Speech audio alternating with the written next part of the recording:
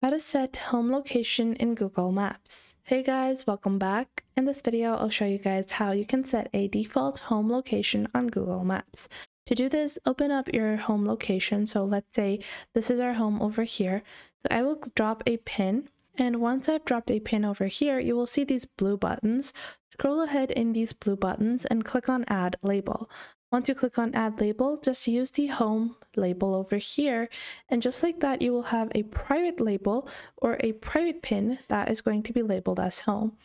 Now, whenever you are going to be getting directions, so if I want to get directions for, let's say we have KFC, let's say we do KFC over here. Now I can click on start directions and I can choose to get my directions from my home.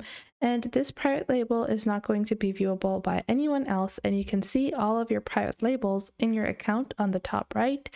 And then once you click on your top right, you can click on your places and click on labeled.